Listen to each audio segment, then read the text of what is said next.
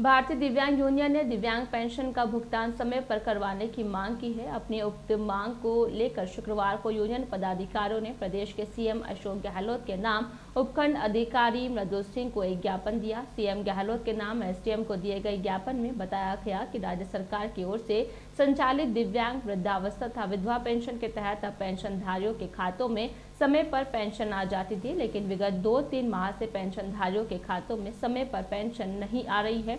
जिसके कारण पेंशनधारियों को परेशानियों का सामना करना पड़ता है। अतः निवेदन है कि पेंशनधारियों के खाते में प्रति माह की एक तारीख को पेंशन राशि स्थानांतरित करवाने की व्यवस्था कर पेंशनधारियों को राहत पहुँचाने का श्रम करें।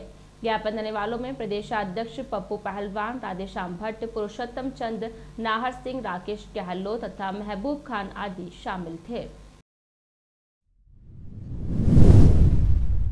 माननीय मुख्यमंत्री को उपखंड अधिकारी के नाम एक ज्ञापन सौंपा गया है। उस ज्ञापन के अंदर हमने मांग की है कि जो प्रत्येक हर माह को जो पेंशन है, दिव्यांग पेंशन हमारे खाते में आती थी, लेकिन कुछ दिनों से पेंशन है जो खाते में नहीं आ रही है, वो लेट आ रही है। इसी कारण दिव्यांगों, विधवाओं को, वृद्धाओं को बड़ी परेशानी का सामना करना पड़ता है। तो हमारी ये मांग है कि जो पेंशन है, जो हर माह के दिव्यांगों के खाते में आ जाए और जो 80 परसेंट के दिव्यांग हैं और जो बुज़ुर्ग हैं, बैंक में नहीं जा सकते हैं। तो हमारी ये मांग है पूर्व में महीने दुआ जो पेंशन को मिलती थी तो उसी तरती पे उनको पेंशन दी जाए। इसी मांग को लेकर के आज हम भारतीय दिव्यांग सभी कार्यकर्ता, एग्ज़ाम साहब को मुख्यमंत्री नाम ज्ञापन देना है।